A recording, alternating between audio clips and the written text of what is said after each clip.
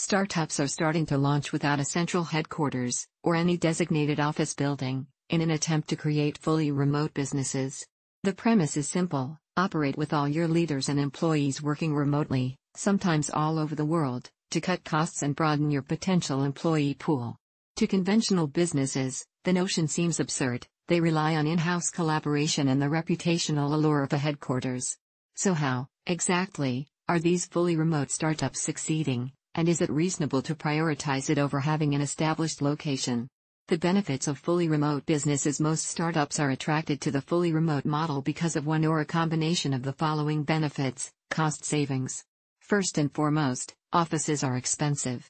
Smart city technology may one day make commercial space more appealing and less expensive, but for now, the average entrepreneur can expect to shell out thousands of dollars a month for leasing even a small office space, and even more money to keep the lights on. Eliminating the need for a physical office space means thousands of dollars of savings every month, which can then be spent on more important assets and improvements, like research and development or marketing and advertising. Management reduction. Keeping up with an office isn't just a matter of money, it's also a matter of time.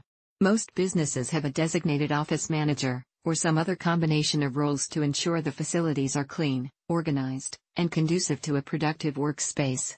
Fully remote models also reduce the need for this time expenditure, sometimes cutting out the cost of a full time salary and other times freeing up more hours for productive work. Commute elimination.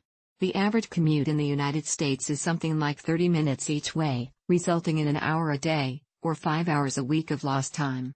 On top of that, many workers come into the office in a bad mood because they got stuck in traffic, or end up with less family time than they like because they get home so late. Fully remote models completely eliminate the need for commuting, or at least greatly reduce it.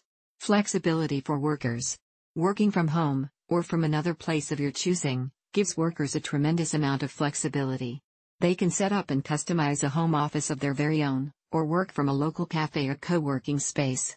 They can wear a suit if it helps them get in a work mindset, or something typically inappropriate for a workspace, like pajamas and custom gold grills.